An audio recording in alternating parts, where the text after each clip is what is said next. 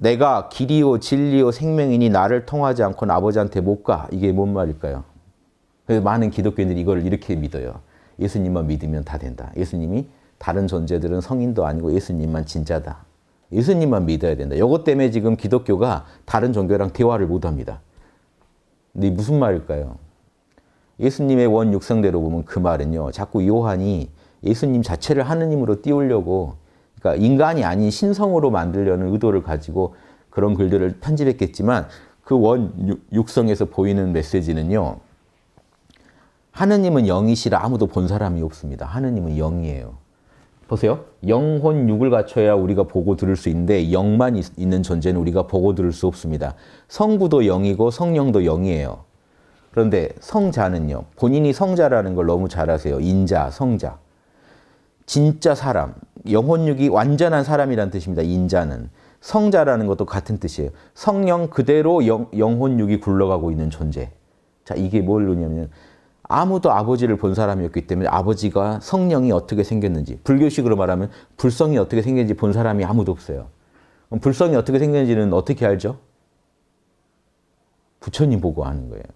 영혼육을 다 갖추고 성령 그대로 성령 그대로 영혼육을 경영하는 사람을 봐야만 우리는 그 보이지 않는 영이 어떻게 생겼는지 알 수 있어요. 그런데 예수님은 자부하는 거예요. 내가 인류 중에 제일 성령 잘 알아라는 자부심이 있는 거예요.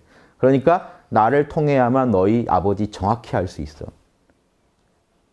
그 자부심은 있는데 어, 나만이 길이다 이런 느낌보다는 내가 아버지 제일 잘 알아라는 나를 통해서 아버지 알 수 있어.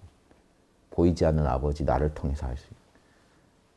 예, 이렇게 이렇게 예수님 원 육성을 가지고 이해하면 그런 이해가 더 타당하다. 예수님은요 하늘의 성부 내 안에 내려오시면 성령 그리고 성자의 중요성 영혼 육을 온전하게 완성시키는 건 성자의 책임.